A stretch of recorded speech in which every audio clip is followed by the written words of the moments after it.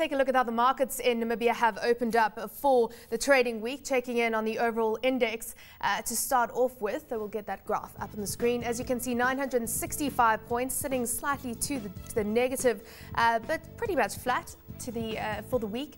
Uh, for the day so far, Namibian local index, which of course was the outperformer uh, for March, uh, sitting up uh, by around 4%, and for year to date, the level sitting at around 7% gain uh, so far today, sitting flat 287 points. And just a quick check in on how the local currency is faring against the US dollar 921.97, and you're looking at weakness filtering through there, down by a third of a percent. Joining us now on the line is Romé Mostert, head of research at IJG Securities to unpack what we saw so far from quarter one from the Namibian markets. So, Romé, thanks uh, for joining us today. So, as I said, the local index sitting with a 7% gain in local currency terms, in fact, down 1.5%, uh, but sharply, uh, uh, sharply outperforming, one might say, the overall index. And I suppose that's really dual listed stocks which weighed down on that overall index. Yes. Um, so basically, as you've mentioned, um, we've seen the, the court, getting the quarter, the NSX overall index posting total returns of about negative 0.8%, while the NSX local index return, total return amounted to about 7% after a stellar performance in February, backed by a generally strong um, earnings season. In particular, FNB Namibia led the pack um, with a total return of about 12.5% um, year to date, followed by Oryx Properties at 6.8%, Namibia Brewery 6.2, while Bidvest Namibia was the slowest performer at 1.2% after posting some not too spectacular results. Um, then from the NSX overall perspective, we saw the general mood of, of the JSE spilling over to the NSX, um, with insurance counters um, and real estate posting the most attractive returns on the NSX, in particularly Old Mutual and Vukile Properties. The banks also reflected some modest returns. Um, and then the main drag, drag, on the index came in the form of consumer services, with Truworths and Shoprite pulling back from the highs um, recorded end 2012 and Anglo American also re resulted on a drag on the overall market. Yeah, I mean, that mining index was down 15% uh, so far. If you look at that uh, three month performance there, so pretty much quarter one performance. On the fixed income front, I mean, if you look at that, you can really see the weakness in the Namibian, Namibian dollar uh, filtering through because the Albi was down 7% in local currency terms, pretty much flat. Uh, but what do you take out of quarter one? What are your expectations for yields uh, going into quarter two?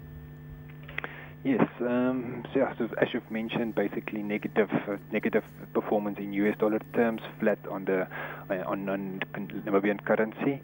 We are actually not too bearish on the Namibian bonds. We still think the relative um, relative yield compared to the benchmark is fairly attractive, considering the fundamentals surrounding the Namibian government and their cash position. And we actually expect that spreads might still even narrow a bit in the foreseeable future. Mm-hmm. Um, in general, in terms of yield, it's difficult to say. It's, it's going to be a risk play that's coming through. Um, but I think relative to the benchmarks, we, remain bullish on the Namibian bonds. What about issuance? I mean, what are your views in terms of the issuance? We know that the calendar in terms of uh, bond supply from, from the government is, is coming out in the next few weeks. Uh, what's, what's the likelihood of them stepping uh, up issuance in response to, I suppose, the strong demand that there has been in the market? Yes, um, obviously there's a very strong demand with um, local regulations requiring pension funds to hold a certain degree of certain level of Namibian um, assets. Um, what we've heard so far from the Bank of Namibia is that they've indicated that they will re- release their borrowing um, schedule calendar next week. Um, and in the meantime, they've said that they are looking at supporting the local market um, with some more regular issuance and also increased tender amounts. So um, but as I've mentioned previously, we foresee that the Namibian government's strong cash position will see bond being very picky on the pricing, mm-hmm. and we might even see a narrowing in the spreads relative to benchmarks.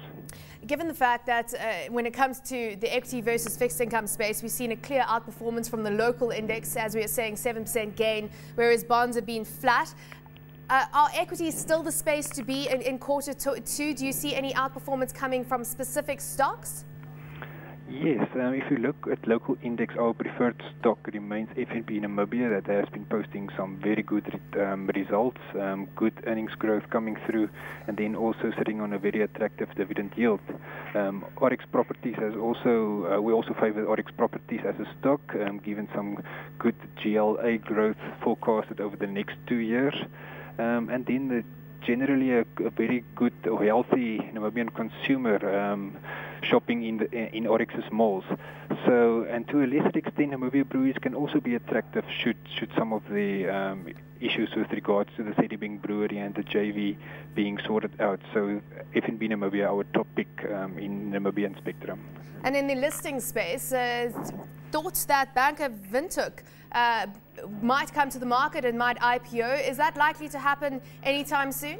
Yes, um, they've actually indicated to us that they want intend to list towards the end of second quarter uh, this year. So we, within the next three months, I suspect that we can see some action from, from their side.